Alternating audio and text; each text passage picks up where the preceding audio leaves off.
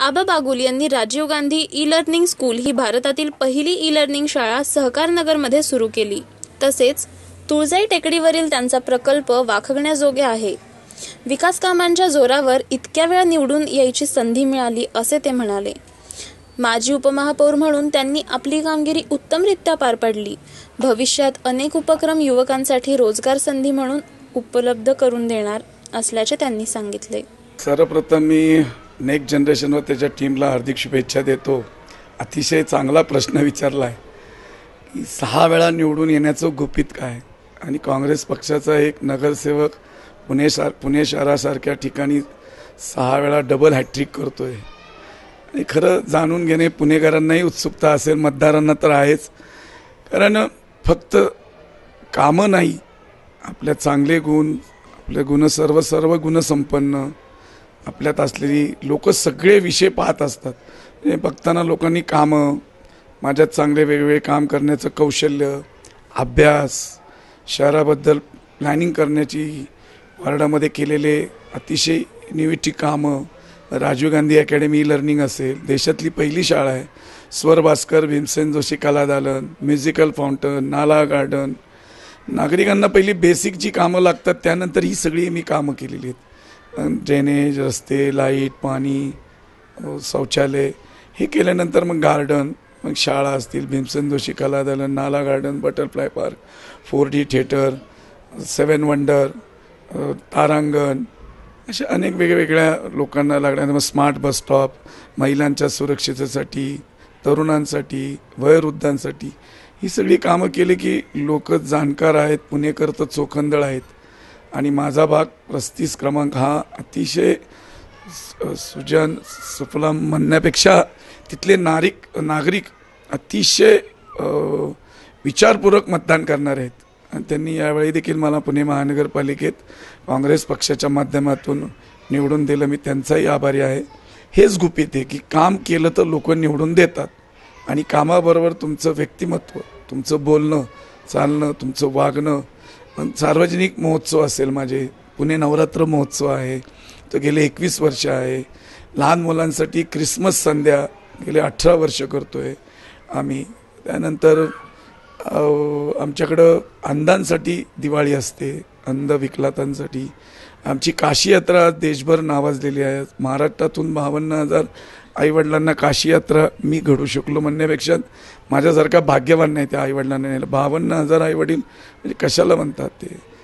ते घडू शकलो. ते काही वार्डातले नाहीत माझ्या. प्रभागातले नाहीत. असा उद्देश ठेवून समोर केला लोकांना कळतं की हा फक्त मतदान आलं निवडणुकीसाठी काम करतोय असं नाही. लोकांना तो कळतं की तो नेहमीच हे काम करत असतो. शहराचा विकास करताना मग S C M T R शहराच्या वाहतुकीचा प्रश्न असेल पुण्यातल्या पाण्याचा प्रश्न असेल अनेक पुण्यातले प्रश्न आहेत. मग ग्रे वॉटर सिस्टीम मी तयार केलेली. आंघोळीचं आणि किचनचं पाणी वेगळं करून रिसायकल करून पाणी ते देतो आहे अशा सगळ्या गोष्टी आपण करत असताना विजय हा कोणाचा ना कोणाचा निश्चित असतो. पण काम केल्याचा विजय निश्चित असतो. या याचं मोठं मला गुपित म्हणण्यापेक्षा हे सगळ्यांना माहिती असलं पाहिजे की काम करा आणि निवडून या. निकाल जसा माझा उशिरा लागला तसं मनात थोडीशी धाकधूक झाली होती. कारण सगळीकडं येतंय की कमळ कमळ कमळ असा निकाल लागत होता. तेव्हा म्हणजे माझ्यासहित सगळ्यांना उत्सुकता लागली होती. पाच वाजले अजून आबाबागलांचा निकाल लागला नाही. पण मला एक विश्वास होता की मी मतदारांपर्यंत पोचलो आहे माझं काम पोचलो आहे आणि त्या कामावर मला नक्की विजय असेल हे माहिती होतं किती मतानी हा फरक होईल. ह्याच्यापेक्षा मी विजय हा हंड्रेड पर्सेंट होणार होता. एक अचानक का लाट आली. काय चुकलं आहे आत्मपरीक्षण प्रत्येक पक्षाला करायची गरज आता लागलेली आहे. मग ते काँग्रेस असो की आम्ही कुठं कमी पडलो आहे याचं देखील आता आम्ही आत्मपरीक्षण आमच्या नेत्यांसहित कार्यकर्त्यांपर्यंत करण्याचं आम्ही ठरवलेलं आहे. परंतु काम केल्यावर लोक देतात. मग कितीही लाट असली तरी त्या लाटेत मी तरलो. अनेक जण निवडून येण्याच्या येतात होते का तरले नाही ते कुठं कमी पडलेत ते देखील त्यांचं आत्मपरीक्षण करतील. पण एवढंच आहे की की आता पुणे शहराचा विकास आणि आपल्या परिसराचा विकास हे केलं आणि तुमची पर प्रत्येक गोष्ट लोक पाहत असतात. ती पाहिल्यानंतर तुम्ही त्या प्रत्येक परीक्षेला उत्तीर्ण झाला पाहिजे आणि मला वाटतं मी उत्तीर्ण झाल्यामुळेच लाटेतही मी निवडून आलेलो आहे. आता माझ्या भागामध्ये मला संपूर्णपणे विकास झाला होता परंतु अजून काही राहिला आहे आता तो तुला माहिती असेल तर तळजाईचं आम्ही एकशे सात एकर जागा पुणे महानगरपालिकेच्या ताब्यात आहेत. त्यात मी ऑक्सिजन पार्क वसुंधरा जैवविविध उद्यान असं उद्यानाचा मी तो प्लॅन हातात घेतला आहे त्यात ग्रीन स्कूल आहे ई लर्निंगच्या वरची ग्री ग्रीन स्कूल. आणि आपल्याला संस्कार विचार आचार दिले पाहिजे. ई लर्निंगसारख्या पाच शाळा अजून करतो आहे प्लॅनिटोरियम करतो आहे ट्रॅफिकचा प्रश्न आत्ता शहरामध्ये भेडसवतोय तो आम्ही ट्रॅफिकचा प्रश्न म्हणजे high capacity mass transport road गेले अकरा वर्ष मी त्याच्या मागं होतो. तो एक पूर्णत्वाला नेणार आहे. सिंहगड रोडला एक पर्याय रस्ता आम्ही बेबी कॅनॉलचा आहे. तो सिंहगडचा रस्ता आम्ही पूर्णत्वाला नेतोय. पाण्याचं फिल्ट्रेशन आहे पाण्याचं ट्वेंटी फोर बाय सेवन ही समप्रमाणात पाणी द्यायचं आहे त्याची प्र- आत्ता योजना मी करतो आहे माझ्या प्रभागात. महिलांच्या सुरक्षेचा प्रश्न आहे. महिलांच्या टॉयलेटचा प्रश्न आहे. तो आत्ता मी घेतलेला आहे. ई रिक्षा एक वेगळ्या वेगळ्या वयोवृद्धांना कुठेतरी प्रभागातल्या प्रभागात जाण्यासाठी ई रिक्षा नाममात्र दरामध्ये उपलब्ध करतो आहे आज अतिशय वृद्धांना आपण जर पाहिलं असेल तर वृद्धांना आज तुम्हाला कुठेतरी दवाखान्यात जायचं कुठल्या दवाखान्यात जायचं कोण डॉक्टर आहे माहिती नाही. तर फॅमिली डॉक्टर एक संकल्पना मी राबवलेली आहे. ती आत्ता सगळीकडे आहे अशा अनेक योजना आहेत की मला ज्या करायच्या आहेत आत्ता त्या करणार आहे मी. आणि आता तरुणांसाठी मी स्वतः कमवा स्वतः शिका. अशा आठवीपासूनच तरुणांना मी आता शाळेमध्ये त्यांना landscaping interior decorator hotel management beauty parlour असे वेगवेगळे सोळा कोर्सेस त्यांना देतो आहे की ज्यामुळे ते शिकतील. तरुण मुलांना आता उद्योग नाही आहे त्यांना व्यवसाय मार्गदर्शन आणि आज दुकान शॉप घ्यायचं तर पन्नास लाख रुपये लागणार आहेत. तेही त्यांच्याकडं असतील मिळणार नाहीत.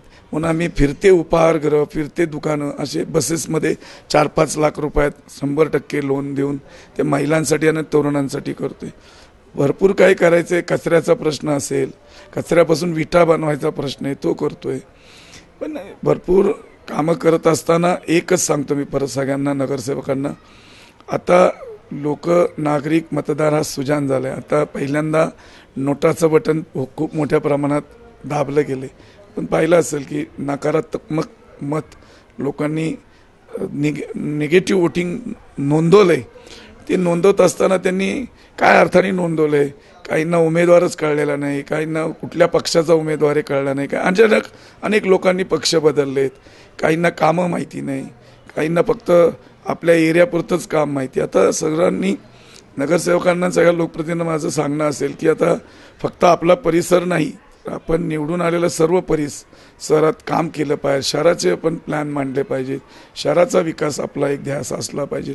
हे केलं तर मला वाटतं आपण परत निवडून येऊ शकाल अशी मला तरी खात्री आहे की मी सहाव्यांदा आलो तरी मला खूप जास्त श्रम पडलेले नाहीत. माझ्या कार्यकर्त्यांची फळी मजबूत होती. काम करणाऱ्याची आमची जी काय प्लॅनिंग होतं ते अतिशय व्यवस्थितरित्या होतं. हाऊस टू हाऊस कसं पोचायचं? आहे कुठं कोणाला काय द्यायचं आहे आपलं केलेलं काम कसं पोचवायचं हे सगळं करत असताना आमची एक टीमवर्क होतं. म्हणजे प्रत्येक कुटुंबातला माणूस तर तळागाळातला कार्यकर्त्यांप्रमाणे आम्ही एकत्र काम केलं म्हणून. विजय निश्चित आहे. आणि हा विजय निश्चित जर तुम्हालाही आणायचा असेल तर या पद्धतीने काम केलं पाहिजे.